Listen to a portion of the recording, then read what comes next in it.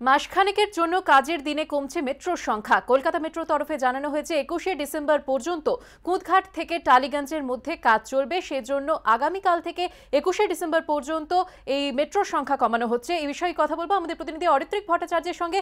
অরিত্রিক, মেট্রোর সংখ্যা ঠিক কতটা কমানো হচ্ছে এবং অফিস টাইমে বাড়তি চাপের কথা মাথায় রেখে কোনো বিশেষ ব্যবস্থা কি রাখা হচ্ছে?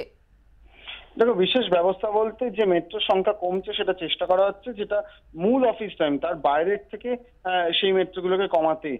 ও আমরা কাজ- জানি যে কাজের দিনে মেট্রো যেটা চলে, সেটা আপ এবং ডাউন মিলিয়ে মোট তিনশোটি গাড়ি চলে, এবং সেটি কমে দুশো চুরাশি হচ্ছে, আপাতত ষোলোটি গাড়ি কম থাকছে।